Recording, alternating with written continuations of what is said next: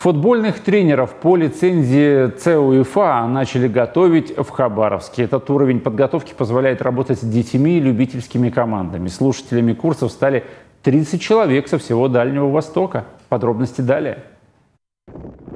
Программа обучения футбольных тренеров впервые заработала в Хабаровске. Площадкой, которую одобрил РФС, стала футбольная академия «Искра». Через два с половиной месяца подготовки специалисты получат базовую тренерскую лицензию ЦУЕФА.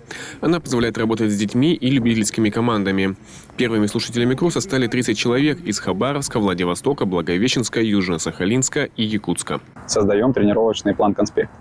Проводим тренировку на детях э, Академии футбольного клуба «Искра», э, после чего происходит разбор данного упражнения – которое было представлено на тренировке или группы упражнений. Подготовка футбольных тренеров разбита на три очные сессии и пять видеоконференций. Также очная часть включает в себя 57 практических и 40 теоретических занятий. В целом направление такое, что обучение проходит в виде интерактива и стараемся, чтобы тренеры были активно вовлечены в процесс, э, больше выступали, э, скажем так, э, сами находили ответы на вопросы, которые касаются специфики футбола.